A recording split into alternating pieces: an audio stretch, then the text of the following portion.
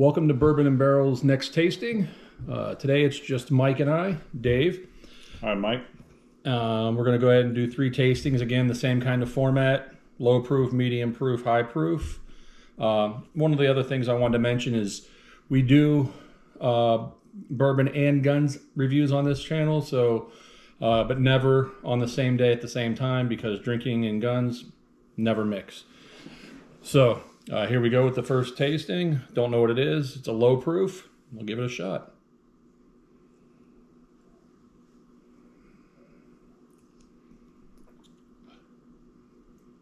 Smells good. Smooth.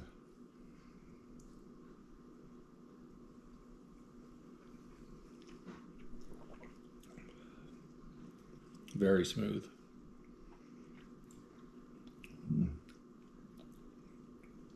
Comes in with a good uh, aftertaste at the end there. It's I do like that. I don't know what it is, but I do like it.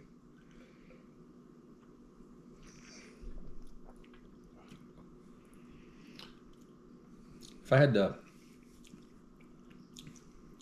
it's not super sweet, which a lot of your low proofs tend to be super sweet. Um, and it's definitely not oaky, so it's not a really old one.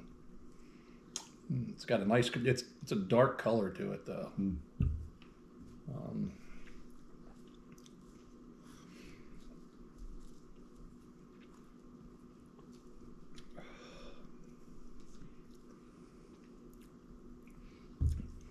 Maybe it guzzled that too fast. Might have, hey, it's got to be drank some fa some way. Drink it the way you like it. So I always tell people, drink it the way you like it. If you like it neat, if you like it straight, it's got a long finish. I'm noticing that. That went down too easy. I can still feel it in my mouth. I'm not getting that throat, that, that choke out sometimes you get from a, a bourbon uh, when it's like really oily. Um, if you want to go ahead and give it a score, well, I'm going to go ahead and Yeah, I, I think that's a solid seven for me. That's definitely one I I will drink. Um, I'm fluctuating between six five, six eight. Um, I definitely, I'll go ahead and go with the six eight on the higher end. It might be higher, but I don't want to. I don't know, but I definitely like it. I think it's definitely got some good, great flavor, great finish, no crazy burn on it. Um, it's definitely something that I would definitely um, throw on the shelf and uh, grab after a long Thursday at work. Um, so what do we got going on with the low proof? Bottle number 22? Or no, wait, Yep, bottle number bottle 22. 22? Somebody has them wrong on the paper. It's been sealed crazily.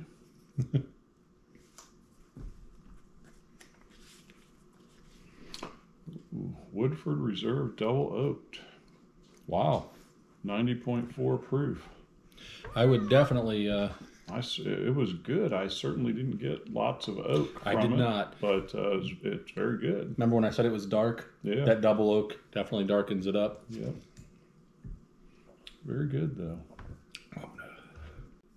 All right, now we're going to go ahead and move on to our second tasting, which, again, it's middle proof. I'm not going to try to figure out what I have the uh, proofs level, leveled out yet. We'll figure that out after we do two or three tastings. We see where the numbers are. Um, definitely not as dark as the first one. Um, great flavor. Some nose profile, rather.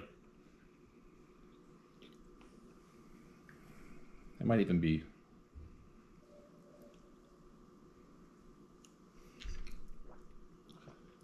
That's sweet. That's very sweet. Sweet, a little bit of heat on the finish. You see the oils running down the glass, so it's I would say it's non-chill filtered. It's got a flavor there. I don't know what it is, but it's got something that's kind of like, kind of there, kind of.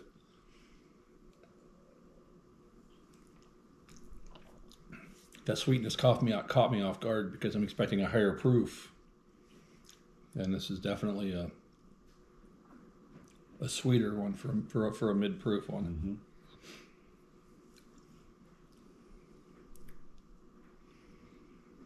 almost like a. I hate to sound cliche and talk like these fancy bourbon tastings are, but it's almost like you can almost take a like a popsicle stick. It's definitely got sweetness to it. Still fairly smooth, but a little bit of a little bit of burn on the back end on that. And you can definitely taste like like you said the proof. It's definitely proofy. At least it tastes proofy. I don't know. Watch it be like an 80 proof or something like that. um, I, I uh, it's not my favorite. Um, it's definitely not as good as the uh, the first one.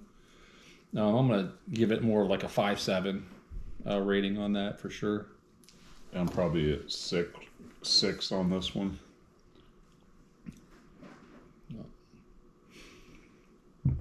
Let's see what we uh, What we got going here? we got. this bottle twenty five.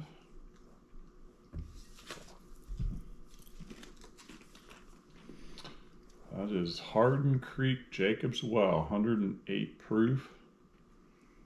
And that's a 15 year. Wow. It's definitely you can definitely uh, taste the proof in that. It's definitely definitely there. Definitely uh, That's right on the verge of too oaky. medium to high. Yeah, it's almost it can like it's almost like you could t- you can definitely taste the 15 years and 15 years is you know 15 to 18 is my high sweet spot. I prefer like 12 to 13 is is almost a perfect age. Um, for for like a daily. it. I like it, but not as well as the first one. and it's definitely very sweet going down. Um, definitely got that. That's like I said, I can taste like a popsicle stick, and I always make fun of people that make comments like that, but it's just one of those things that I can definitely. Uh, You can definitely see the uh, the fingers on the uh, on the glass too. So, all right. All right, we're going to move on to our third one in the tasting. This is our high proof. So this should be uh, 110 or higher. I don't. I don't. It doesn't smell high proof. It does not. Hopefully, we didn't get them mixed up. Us, we'd never do something like that. We're we're the consummate professionals here. Mm.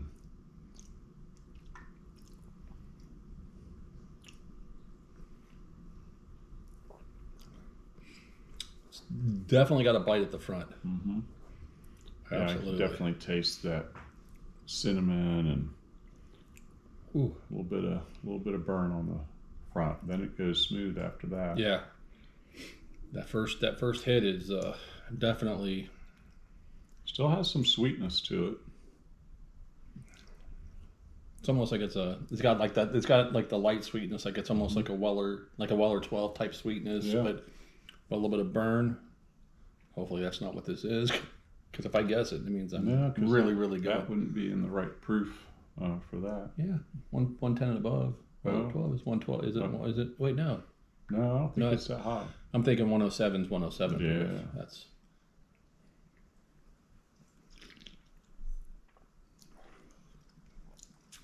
It's definitely got that high proof burn. That probably second best of what we've had so far. So maybe Definitely six and a half on that.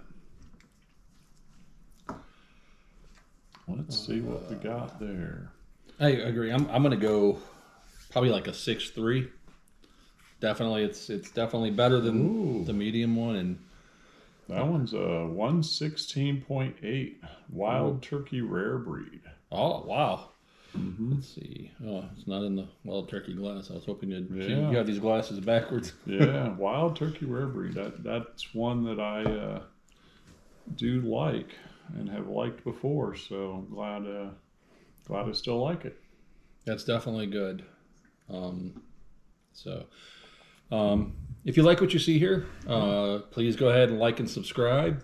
Um, we definitely will be doing tastings, and we may throw videos up on our uh, Twitter handle or X, whatever it's called now. And there may be some shorts we put out with each of us maybe sitting at home, taking our phone, recording a quick little 10, 15 second video about something we like at the house.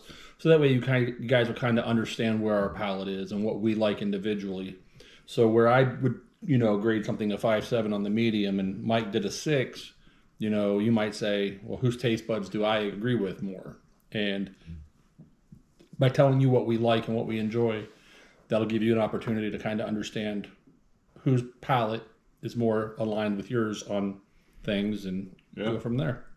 And everybody's is a little different sometimes. So, Absolutely. uh, like this time, I happen to like that low proof a little bit better, and sometimes I do like the higher proofs better. So, Yeah, and it depends on the day. And and I'll always say, you know, we're drinking them straight, no ice, no water, uh, neat.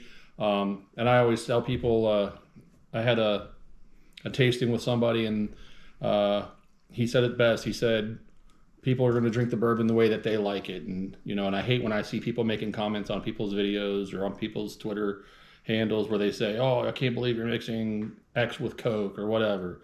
And I always say, if they enjoy it that way, Yep.